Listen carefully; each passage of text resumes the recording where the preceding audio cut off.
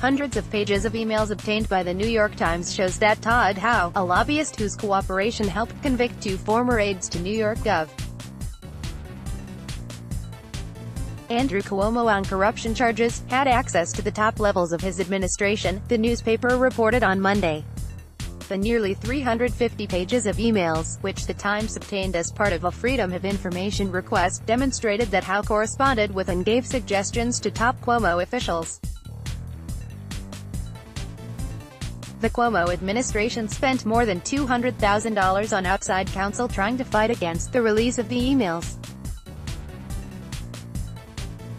The Democratic governor, who is running for a third term in November, has repeatedly downplayed his ties with Howe, who became a central figure in two federal corruption cases after pleading guilty and reaching a cooperation deal with prosecutors. A Cuomo spokesman said it was unknown at the time of the emails that Howe was a criminal and an admitted liar. The emails showed how Howe used his access to gain help for clients.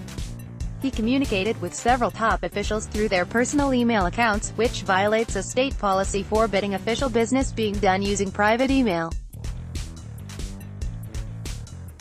Cuomo, however, has not been accused of any wrongdoing, and the governor's office has described Howe as a felon, liar and discredited manipulator, who made up stories invoking both Mario and Andrew Cuomo to make himself seem more important. Newsfront Hundreds of pages of emails obtained by the New York Times shows that Todd Howe, a lobbyist whose cooperation helped convict two former aides of New York Gov.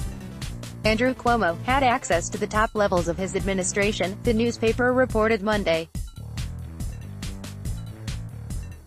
Todd Howe, Andrew Cuomo, corruption charges 233 Monday the 20th of August 2018 3:20 p.m. 20182020 Monday the 20th of August 2018 3:20 p.m. Newsmax Inc. Newsmax Inc. Newsmax Inc.